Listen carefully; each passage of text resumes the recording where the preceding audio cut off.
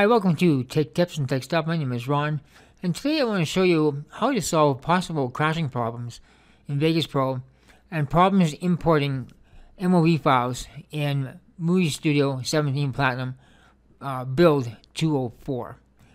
Now, if you're new to this channel, please subscribe for more tutorials like this. And if you're a returning subscriber, thank you so much. You're like my best friends. And guys, since it's Christmas time, if this helps you out, how about a small tip? There's a donation link below. Like just a buck will help me out. Buy a cup of coffee, a cup of hot chocolate, because we're getting a pile of snow tomorrow. So, anyways, let's get on with uh, tutorial here. So, uh, QuickTime by Apple is being phased out, and it's full of security flaws. So there is an alternative to it. Um, I emailed MAGIX a few weeks ago, and it took them a week to get back to me. I told them uh, people running Movie Studio 17 build 204 are having problems with MOV files not loading. Uh, wouldn't load MOV files anymore. And I misread their email. There was a line in there that says it would get a QuickTime alternative. So I have one here. I'll put this link in the description below. We can do it. So let's go do a download together. Just download this and the install together as well. So we take a US download.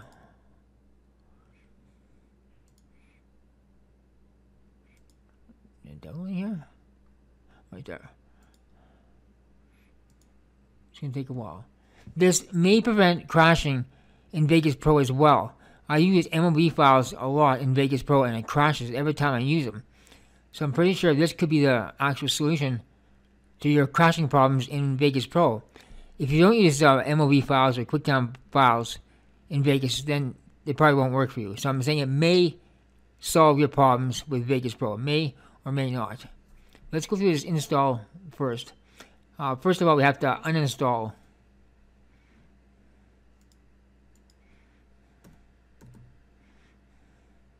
we have to uninstall QuickTime. Let's get QuickTime off this computer. QuickTime is notorious for security problems. That's why it's being phased out. And that's why you're seeing it under depreciated assets in Vegas Pro and Movie Studio now. It's because it's kind of on that chopping block. QuickTime here.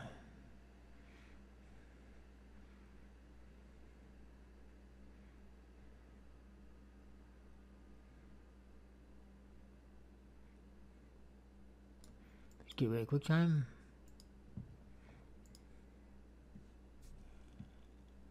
Yeah, they're predicting upwards of uh, 30 to 50 centimeters of snow in Alberta tomorrow. It's insane. Insane. Okay, so let's install, install this program here. Actually, guys, now I can install it first. Oh, I can't do it now. I wanted to show you how what was happening in Movie Studio. Movie Studio, you get an error. You try to import uh, MOV file and you get an error. So let's just let's go ahead and install this program.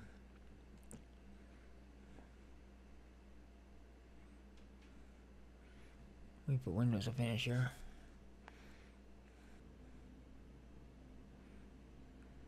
Back to Netscape or Firefox and um, QuickTime Alternative. You can't install this with QuickTime running. You have to quick uh, click out of QuickTime.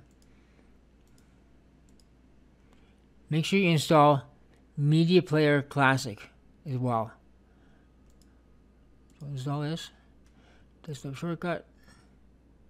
And I wanted to read MOV files and all of uh, of um anything QuickTime was associated before with.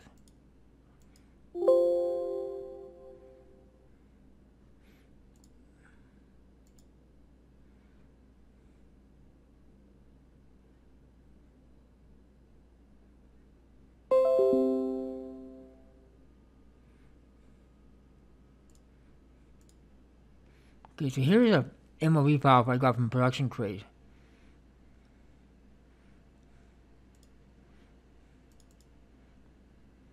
Make sure you select Media Player Classic when looking at uh, MOV files, not other players on your system, because you want this is the one we just downloaded.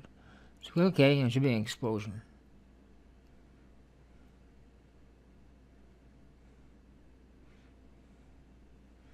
That's a big explosion. I'm at 4K. Okay, that's good there. Let's fire up uh, Movie Studio. If this does solve the problems with Vegas Pro crashing, this is going to be a big, uh, big deal here.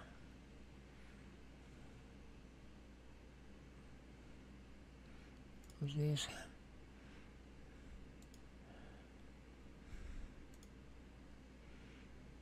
Stop.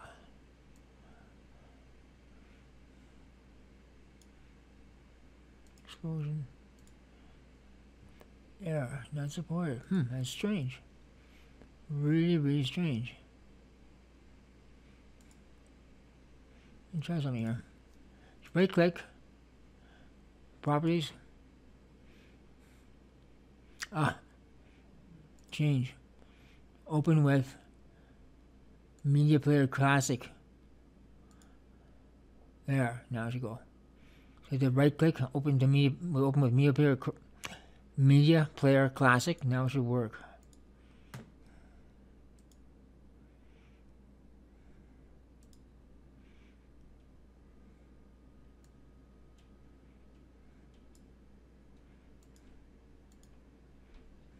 Still doesn't go in.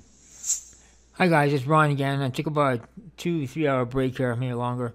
I uh, got a message in, into support as well, trying to figure out this MOV problem with Movie Studio Build 204. Um, I tried going under depreciated assets, restarting the program. Nothing works. Um, what you could try doing, right click on the program, the file actually. If you haven't re removed QuickTime yet, go Properties, Open with, and select um, Media Player Classic. Okay, I tried Windows Player, it didn't work, and click, click OK. So actually, sorry, not Windows, not Media Player Classic, QuickTime. Open it with QuickTime, and that should work. And make check your association of your other files in the computer so it didn't mess up any other files in the computer. But that won't work if you haven't removed QuickTime yet. It should work with 204. Um, so I have a message in the support. When I get back, I'll let you know what's happening. Another way around this is to convert your MOVs to MPEG-4, MP4. There's free programs all over the net. Do a Google, Google search. Look for MOV to MPEG-4, MP4, and convert your project to MPEG-4. Key it out uh, with uh, Chroma Key, and that will solve your problem until this is fixed, if it gets fixed. If you found this video helpful in any way, please give it a thumbs up, subscribe, and as always, thank you for watching.